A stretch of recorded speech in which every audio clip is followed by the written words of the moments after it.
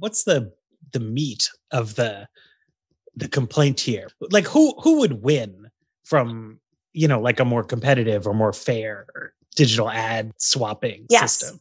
So um, the people who are being harmed, um, and so thus the the people that we're trying to um, remedy those harms is advertisers, publishers, which is websites and news organizations, and also users, of course, regular people in the world who are paying more for products that advertise on Google uh, because those advertisers are paying more, and who are receiving lower quality content on the publishers um, because those publishers are receiving less money from Google.